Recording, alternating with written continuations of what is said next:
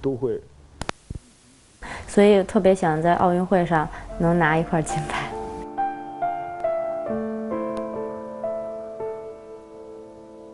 因为毕竟是知道自己只能再参加这最后一届的奥运会了，嗯，然后特别想，就是说能给自己的体操生涯画画上一个好的句号。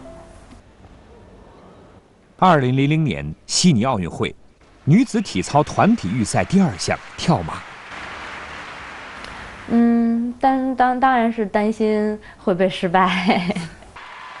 奎媛媛的担心是因为她的腿伤。嗯，奥运会前啊，都准备的不是特别好，都是往海绵坑里跳的。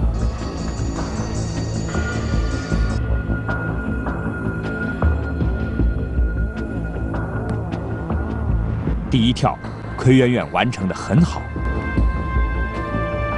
第二跳。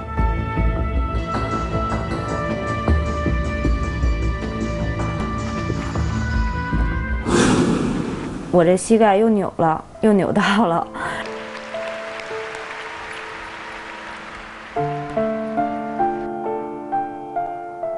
我当时示意完了以后，我就走不了路了。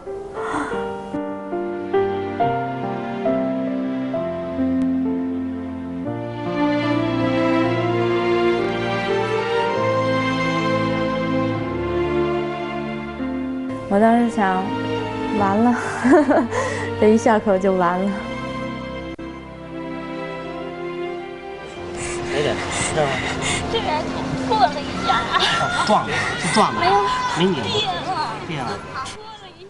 队医在检查了奎圆圆的伤势后，明确的告诉她已经不能再进行比赛了。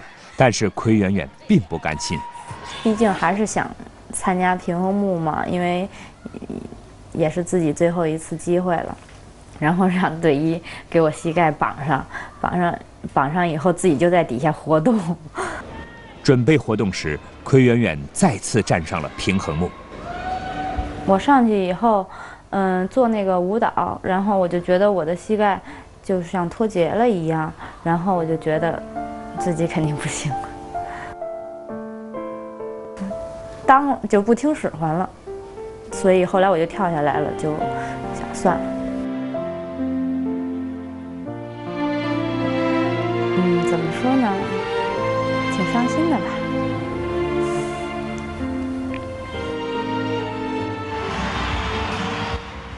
随后的日子，奎圆圆成为了看台上的观众。女子平衡木决赛，刘璇留下了一段绚丽的表演。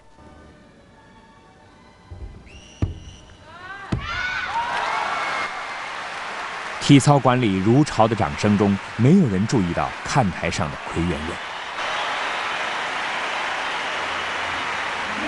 然后，看他做完了也没有什么反应，然后分儿一打出来了，然后看他是第一了以后，就突然间一股那种酸鼻子就酸了，那种酸劲儿就上来了，然后就赶紧跑出去了。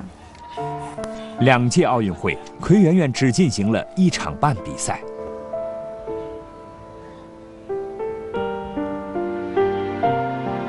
心里边特别不好受，觉得嗯嗯。自己要上，没准自己也可以拿到这块金牌。现在照片上的三个人走上了不同的人生道路。毕文静在一家体育公司上班，刘璇进军演艺圈，而奎媛媛则做了幸福的妈妈。我就到，到了一会儿我先走了。和孩子的玩耍中，奎媛媛的脸上写满了幸福，甚至看不到一丝疲惫。我不太辛苦，但是我妈挺辛苦的。孩子成为了奎媛媛生活的重心。四岁开始练习体操，十七年运动生涯，体操留给奎媛媛的不仅是两次奥运会的遗憾。我觉得还是坚强吧。我觉得我练体操啊，然后这些事情把我磨练的挺坚强的。我觉得我是挺坚强的一个人。